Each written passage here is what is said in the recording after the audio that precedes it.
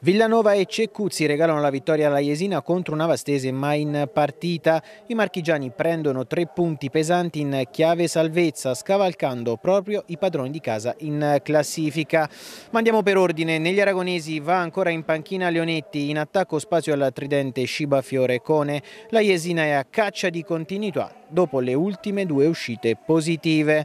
Le due squadre partono al piccolo trotto, la prima conclusione dell'incontro è di marca ospite, Villanova prende la mira e calcia dalla distanza, tiro violento e pieno di effetto, Patania respinge come può e si salva. I marchigiani spingono al tredicesimo Pierandrei in corna, l'estremo di casa si oppone, Villanova deposita in rete ma l'arbitro annulla per fuorigioco. Al diciassettesimo Villanova se ne va su De Meio e appoggia una palla d'oro al centro per l'accorrente Trudo.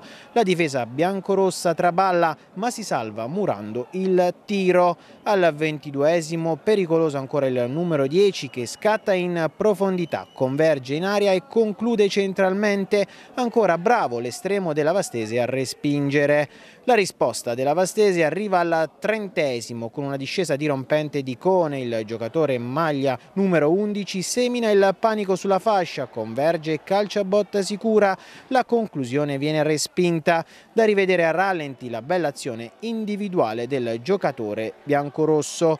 Un minuto dopo però a passare sono gli ospiti e Villanova che prende la mira e dalla distanza lascia partire un tiro violento e preciso su cui Patania non può nulla 1-0 per i marchigiani. Da qui a fine primo tempo non succede altro e si va a riposo con questo risultato.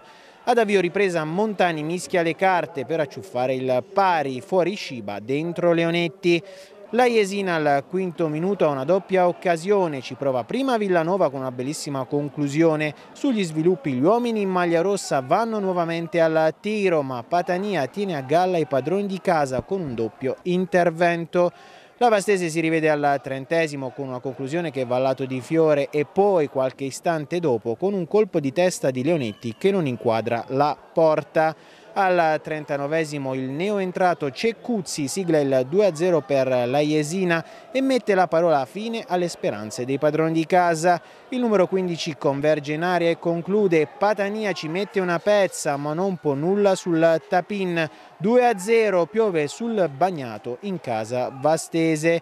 I padroni di casa accusano il colpo e non riescono più a rientrare in partita.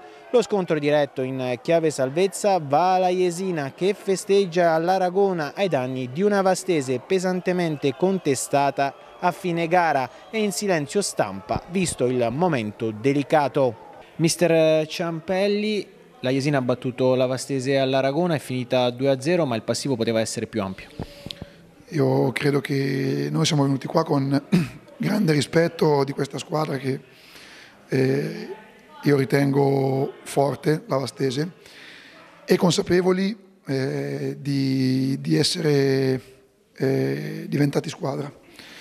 Eh, avevamo ancora negli occhi la partita della gara di andata, che onestamente ci aveva fatto male e quindi credo che ci sia rimasto dentro qualcosa di diverso e abbiamo fatto la partita che dovevamo fare attenta, tecnica, coraggiosa e sapendo che questa è una squadra che deve comunque sempre mantenere la propria identità. In questo momento i risultati ci danno ragione, però eh, quest'anno ne abbiamo viste di diverse e quindi abbassare la guardia in questo momento sarebbe, sarebbe veramente delittuoso.